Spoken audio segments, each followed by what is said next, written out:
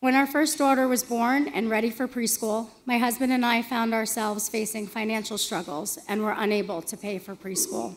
We are two people who have never been unemployed, have always held additional part time jobs, are honest, good, and care for others, and yet we could not get ahead.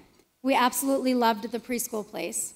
Charlie participated in programs like Mini Maestros and Jump Into June, fostering her love of the environment, the world, and encouraging her creativity through art and music. She developed a voice and friendships. Today, our little girl is seven years old and in second grade, has a profound love of reading, writing short stories, and dancing. She aspires to be a teacher like her dad and pushes herself to her full potential because she was taught by us and by the preschool place that she is smart and she is empathetic and that she can change the world. That self love, that dedication to helping others, it's absolutely priceless. And it would not be present without this program and the generous supporters like yourself here tonight.